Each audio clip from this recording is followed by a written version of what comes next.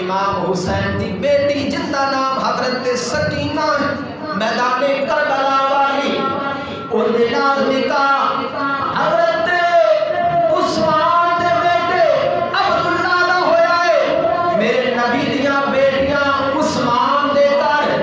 मेरे नबी दियाँ दो